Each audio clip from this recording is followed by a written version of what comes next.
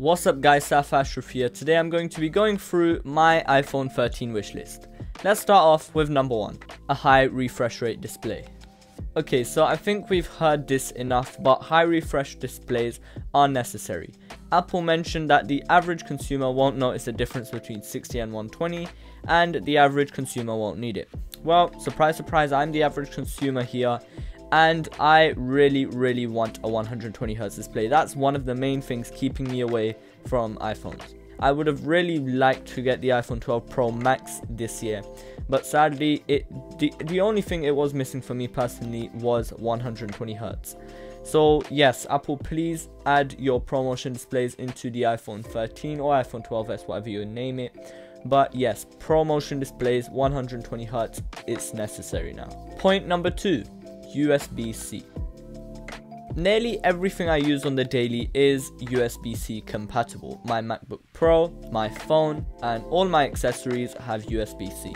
If I was to buy an iPhone 13 or iPhone 12s and it did not have USB-C, it would probably make a problem for me as I would have to bring around an extra cable, which is just a load of hassle for me, especially if you have a tight bag and you can't add everything into that bag.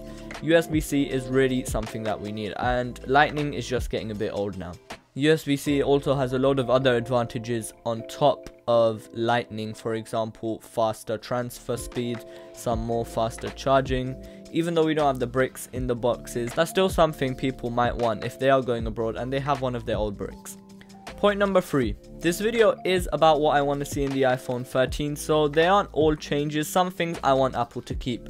For example, the sharp edges and matte finish. I really like the blue color on the iPhone 12 and it's really really nice actually. The iPhone 12 Pros with the matte also and as all the iPhones have the very sharp edges, I personally am a fan.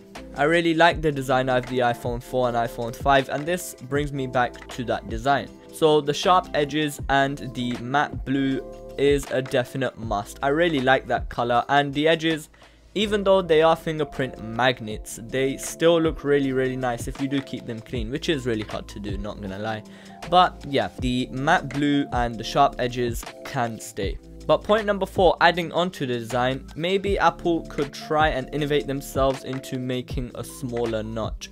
The notch is getting a bit outdated with the other designs that we've had in the smartphone market. For example, the hole punch cutout that we've seen on nearly every Samsung phone and a lot of Android phones.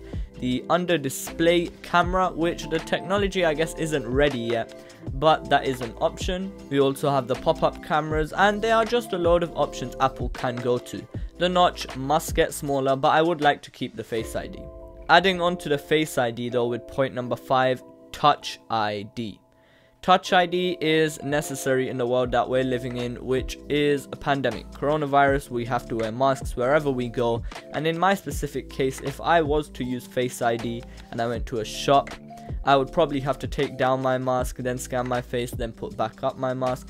That's just hassle. So in a world of where we are all wearing masks, Touch ID would be so, so much easier and I'm not a fan of punching in my pin everywhere I go, especially for payments.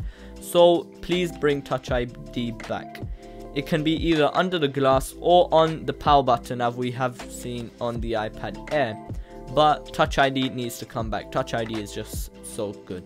So those are the main things that I am looking for in the iPhone 13 if this is how it is, which there is a slight chance of there could be, but if this is how the iPhone 13 looks like when it is launched, well then I am jumping on to the other side. I'm going to go to iPhone. I have a Samsung Galaxy S10 Plus right now, so I am looking to upgrade.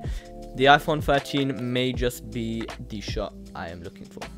Thank you guys for watching. Saif Ashraf with the iPhone 13 wishlist. Peace.